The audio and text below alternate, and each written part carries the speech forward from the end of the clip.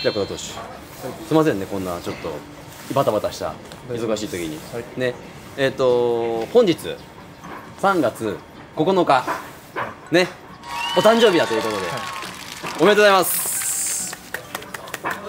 おいおいくつに？26です。6、はい。いやいやおめでとうございます本当に。いや誕生日ね。あのー、26回目の誕生日迎えたと思うんですけども。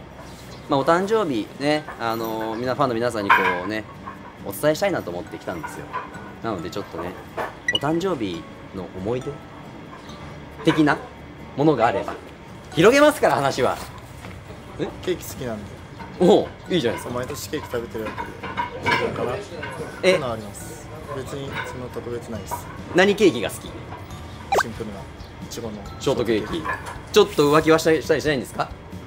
チョコの方に行ってみようかなとかあとチーズケーキに行ってみようかなとか生クリーム好きなんで。お浮気じゃあじゃあ最近ちょっとあの先輩が球団に入ったじゃないですか、入られました。ねでちょっとね話を聞いたんですよ。なんかちょっと小田投手の裏話ないって言って。お兄さんも同じ野球部だった。のそうです年子だった一つ上で。はい。でなんかお兄さんと同じ高校に行きたくなかったという話を